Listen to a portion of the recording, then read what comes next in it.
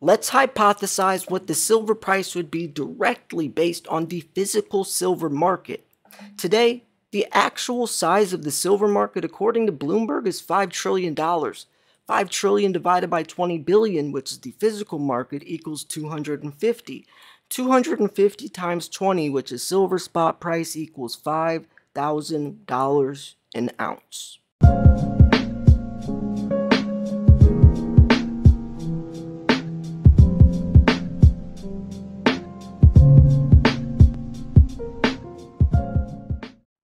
Hey, what's up, Silver Stackers? Thank you for tuning in. This is Silver Slayer. I really wanted to make this video so my audience doesn't have an unrealistic expectation on what silver's price could do and how soon.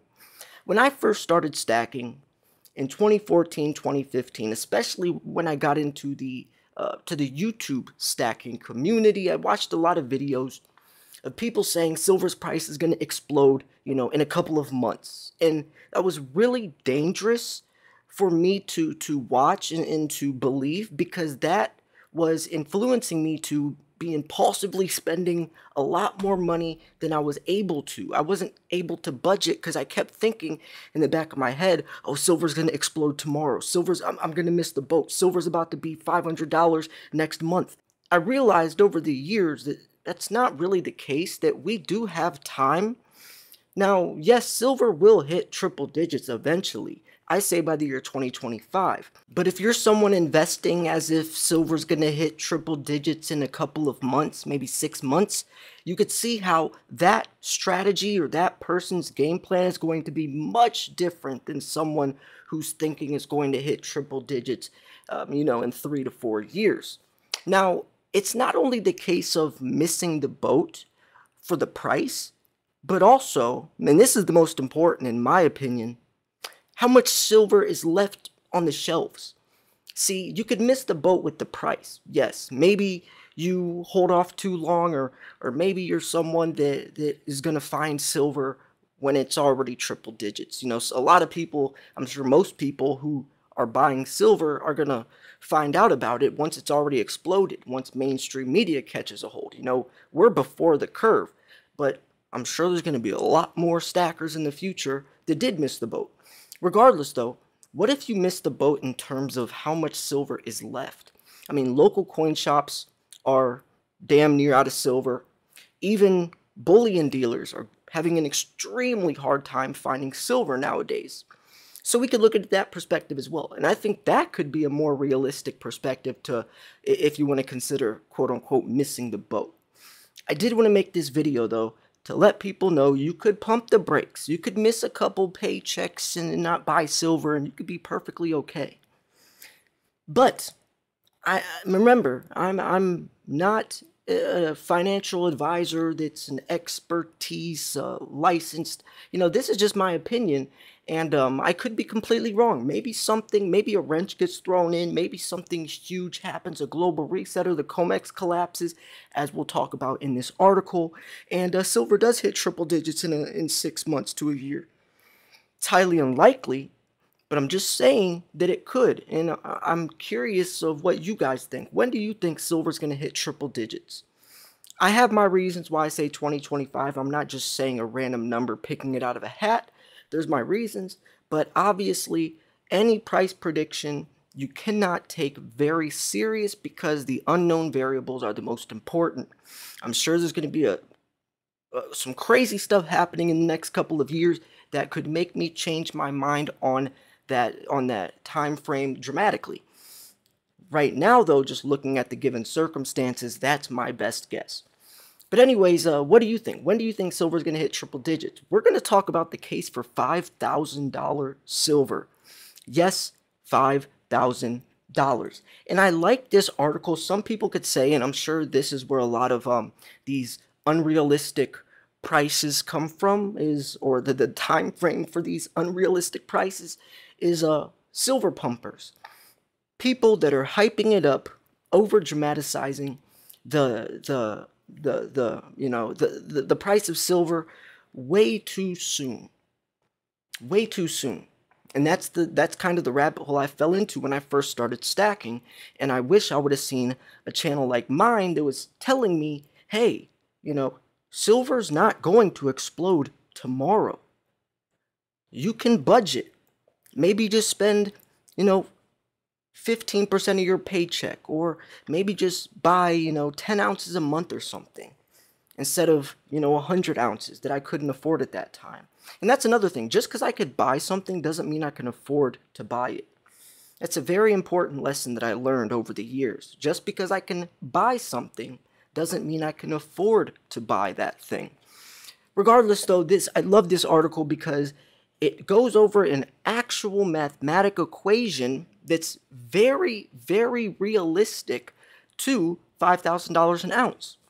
And when we talk about the COMEX collapsing, this could actually be something that falls into play. Not saying that, and like this guy says, he's not saying the price will hit $5,000, but technically, if you use this mathematical equation, this would be somewhat accurate, and I think a lot more accurate than people realize. It's the 250 to 1 ratio. The paper market compared to the physical market is 250 times bigger. So the, the physical market is 250 times bigger than the, the physical market. So if you multiply 250 times spot price, that would give you $5,000 an ounce. So technically, if you want an even paper market to physical market, that would put silver at $5,000. We do talk about the COMEX collapsing a lot. Uh, you know, LBMA and COMEX vaults are empty. What's going to happen when people try to turn in those contracts to physical delivery and the, the, the, the, physical silver isn't there to be delivered? So anyways let's let's go over this article. I wanted to bring the, the little bit of awareness and a little bit of a buyer beware because remember i'm focusing more on the the shelf life of silver not so much the price. I think we will run out of silver before Eh, before you miss the boat in terms of the price exploding and having to pay $100 instead of $20. If the price of silver were based directly on the real physical silver market, silver's price should be $5,000 an ounce. I'm not saying the price of silver will reach $5,000 an ounce. I'm just saying that the, the, the actual physical silver spot price is not only extremely undervalued, it's an illusion compared to the real value of an ounce of physical silver, since it's totally disconnected from reality and it really is. You know, when you look at at something like this or look at the paper market versus the physical, it is completely detached from reality. And I do think that there will be a day and age where silver's physical silver's actual price or even spot price will start to um, it, it will start to normalize to some extent at least. You know, the facade can't live on forever, uh, the truth will be exposed. So a price of $5,000 may seem totally crazy, but who can pretend knowing exactly how an ounce of silver is worth? After decades of manipulation and turning real investors' demand from physical uh, to the paper market, and years of exponential monetary printing by all the planet's central banks. And that is true. And even more so, how can you compare an ounce of silver to a dollar when the dollar is is inevitably collapsing. It's lost 98% of its purchasing power. You're talking about an ounce of silver that's always going to hold an ounce of silver, comparing that price to something that is that, that's collapsing, right? That it's constantly collapsing. I mean, how can you compare that? You you can't compare fake money to real money. No matter who says that one ounce coin is worth what is irrelevant because the coin's value is the one ounce inside of it, not the price tag attached to it. So you can't really compare it. What you can do though is look at the paper, the paper market versus the physical. And a great way to, to really show the importance of owning physical silver is this. Since the paper market is 250 times greater or that is the that is i guess the comparison between the two that means that every ounce of silver you have in your safe 250 people theoretically own that same ounce on the comex. They think they own that ounce but they don't own it. The only person that actually owns that ounce is you because you're the one that has it in your bare hand. If you can't hold it you don't own it Physical market versus the paper market difference. The actual spot price for silver has no real value and is not legitimate when we seriously compare the real physical silver market to the paper market. And, uh, and that makes so much sense. Spot price is irrelevant. Spot price has no real value because, once again, you're comparing silver to dollars. So an article by Bloomberg, which is always a reliable source with their published data, says the size of the global annual silver market is equal to $5 trillion. According to a recent interview with David Morgan, the annual physical silver production is roughly 1 billion ounces, which it is, right? We actually, it's around 900 million ounces, something along those lines. I think it's 850 recently. But regardless, that's, that, those are the numbers we'll go by. So with silver trading around $20 currently, this represents $20 billion market for physical silver, so the size of the physical silver market is $20 billion. So the difference between 5 trillion and 20 billion is that Bloomberg's $5 trillion number represents the entirety of the paper silver market, including all paper financial products, certificates, options, ETFs, etc., derived from the real physical market that allows investors to be exposed to silver. So that means it's the 250 to 1 leverage. So what he was just mentioning makes for a 250 to 1 ratio between the paper market and the physical market, meaning that for every 1 ounce of silver, there are 250 ounces of paper silver circulating in several financial products. In other words, only one contract or certificate issued out of 250 could be convertible into physical silver. That is, the silver market being leveraged 250 to 1. And then the multiplication of those um, skirted investors' demand from the real physical market, thus creating a virtual supply of silver without putting any pressure on the physical market. A roundabout way of keeping the price low, right? Because they're still accounting for the price as 1 to 1 when it's actually 250 to 1. If now, as the regulation agencies are claiming, the goal is to create a new fixing for silver that would better reflect the physical market, notably from pressure coming from countries like China wishing to have their say in the fixing of precious metals prices. The leverage between paper silver and physical silver is at risk of radically evolving. So let's hypothesize what the silver price would be directly based on the physical silver market. Today, the actual size of the silver market, according to Bloomberg, is $5 trillion. 5 trillion divided by 20 billion, the physical market is 250. 250 times 20, which is silver spot price, equals $5,000 an ounce. Here's the conclusion. Every investor holding silver in the form of financial products without the possibility of verifying the physical existence of their investment should ask the question as to what will happen when more holders of said products will ask for physical delivery we already know what will happen because one of the largest banks from the Netherlands already defaulted a little more than a year ago on its gold certificates by settling customers in cash. And that's exactly what would happen.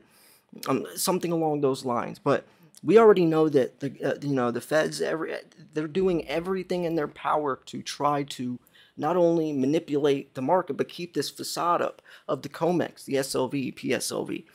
We know that the LBMA vaults are empty, the COMEX vaults are empty, um, and that is something that is not a myth, it's not a conspiracy, that was validated by them themselves. So, what's going to happen when these people try to turn in these contracts to physical delivery when the silver cannot be delivered because there is not a, a, an equivalent ratio of paper contracts to physical ounces? That's when everything gets exposed, when it comes crumbling down that's when that 250 to 1 leverage gets exposed. So who knows what could actually happen.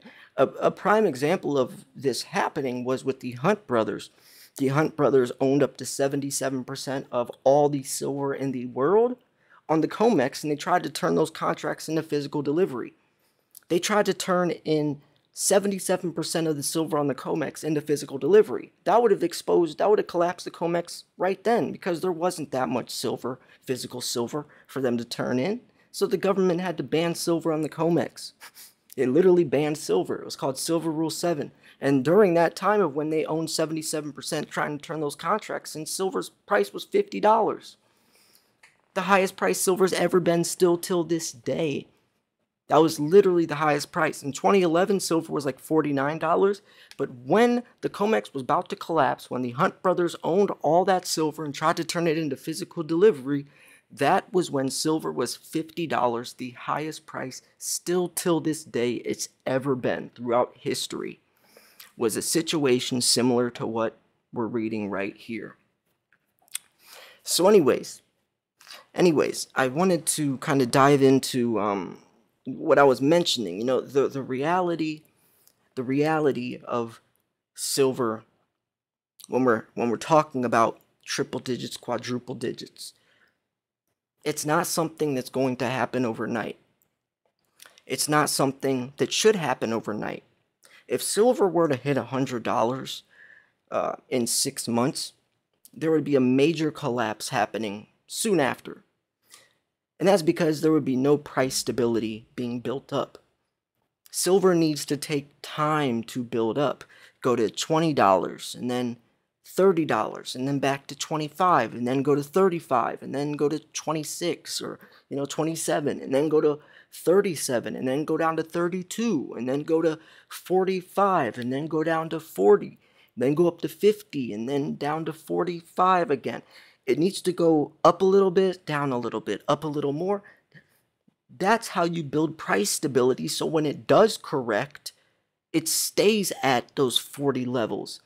If it goes from, like the Hunt Brothers goes from like $9 to $50, there's no stable pricing in between that. So when it does correct, when it's in that overbought territory, when there is a top, it's going to go right back down to where it started if it would have went from nine dollars to 20 to you know to 30 stayed at 30 for a while to 40s it would have stayed at 50 but it went directly up directly up skyrocketed up straight line instead of a slow gradual hill. Both times right same thing with bitcoin. In 2016 it went from like $1800 to $18000 in a matter of like six months and that's why it Uh, it collapsed and it took three, four years for it to recover. If it would have went from 1,800 to $18,000 a lot slower, it would have stabilized. There would have been stability at those in between prices. So anyways, yeah, I don't want silver to, to explode anytime soon anyways. It just gives me opportunity to buy more silver for cheaper for longer.